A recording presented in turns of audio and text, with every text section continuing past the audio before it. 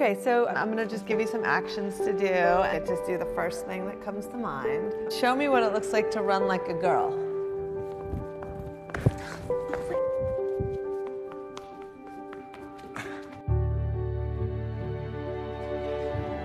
My name is Dakota, and I'm 10 years old. Show me what it looks like to run like a girl.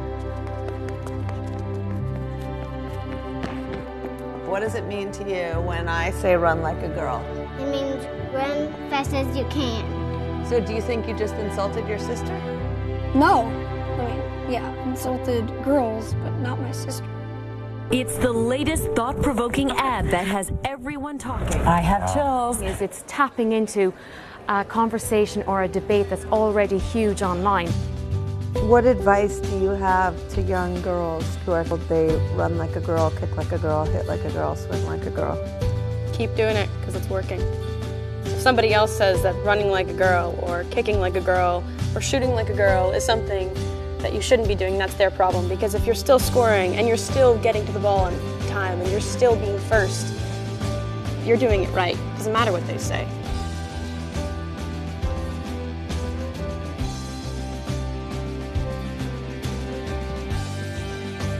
Why can't run like a girl also mean win the race?